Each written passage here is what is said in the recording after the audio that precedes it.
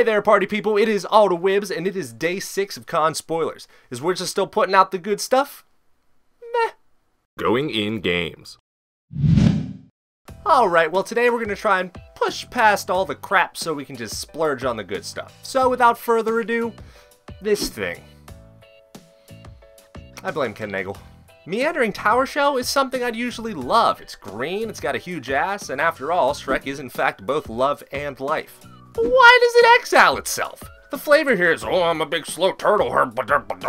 So why then does it have the ability to transport itself through time and space in the blink of an eye?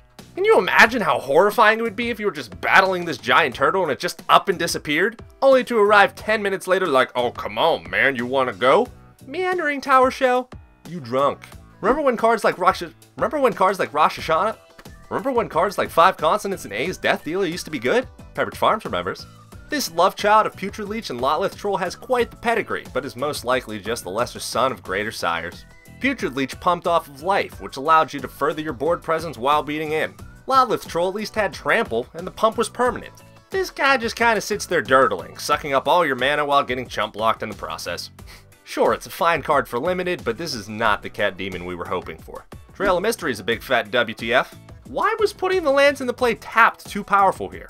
Does Wizards actually think they printed enough morph this time around to make that insane? I mean, the pump is fine or whatever, but the real takeaway from here is that there's likely non-morph creatures since Wizards took the time to put the word permanence on this. So Edit Cavern, here we come. Just stop making phoenixes, okay? This card wouldn't be good at rare. Why is it a mythic? Ash Cloud Phoenix has the single most interesting return ability for a Phoenix yet. I mean, they really had a shot with this one. But where's the haste? How do you print a 4-1 mythic bird that's made of fire without haste? I just, I gotta move on.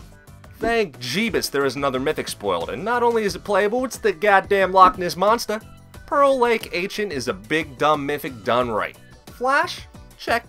Can't be countered? Check. Force new mechanic on a creature with absolutely no evasion? Check. He even has the ability to protect himself for the low cost of returning three lands you control to your hand. All in all, it's an insane limited bomb, but probably would see more standard play if it wasn't so damn greedy. This guy costs 7. and We all know the real Loch Ness Monster only costs half that, which is about tree fitting. Modern players got a little to salivate over this morning, and that came in the form of Murderous Cut. Murder for one black sounds real nice, and if you've ever played Modern, you understand that you get 4 cards in your graveyard by about turn 2 most of the time. Having something like this with Delve lets you further your board while still having tricks in your bag, and giving your opponent something else they have to think about is never really a bad thing. Now Siege Rhino is a guy I can get behind. Not that you'd ever want to be standing in front of it. Wizards is really pushing the power creep on creatures in this set, and I couldn't be happier. This guy is more than standard playable and downright EDH gold. Now in lieu of giving us Lightning Helix back, Wizards gave us a very interesting spell at the same casting cost that I can only hope will be fondly called Talk to the Hand. Now, effects like this are always pretty cool, but sadly almost never get played. At two costs though, this has real sideboard potential. I guess we'll just have to see how many big Hulk smashy kind of creatures end up getting played. But the big story of the day was the reveal of three more charms, Mardu, Jeskai, and Temur. We'll start off with Mardu Charm, and it's becoming very apparent that Wizards knows how to make charms these days. We get our choice of Instant Speed Flame Slash, Raise the Alarm plus an additional First Strike ability, and Instant Speed Duress until end of turn. All of these modes are relevant, from killing Coursers to blocking down for value to the endless draw step shenanigans that are now sure to be part of next standard. Jeskai Charm is equally as powerful, but I gotta admit this one seems a little phoned in. Sure, I love Azorius and Boros Charms as much as the next guy, but clearly not as much as Wizards R&D.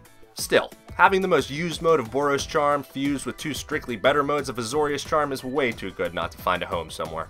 But Temur were without a doubt my favorite clan coming in, and they have cemented that firmly with their charm. We get pseudo Citizen tactics, the ability to slip past creatures with power 3 or less, and freaking Mana Leak! Sure, Banana Charm over here is probably still the best one, but Mana Leak? On a charm? Oh, I'm in love! The last big piece of news is 10 new refuge lands. That's awesome! Granted, they couldn't call them refuges this time, because I guess that was too Zendikar flavored, so they just kind of have a whole bunch of random names, but hey, they're better than guild gates. At common, these lands are huge for this set, making the nightmare of heavily three-colored sealed actually possible. I'm really looking forward to this limited environment, and I gotta thank you Wizards for making this a little easier on all of us. Week 2 of spoilers is now thrust upon us, and I gotta admit the clans are really taking shape. Temur is the clan my heart belongs to, but who are your favorites? Leave us some comments below and don't forget to like and subscribe for more content. But until next time, peeps, Wibs out. Jesus. Oh, I hope tomorrow has less jank.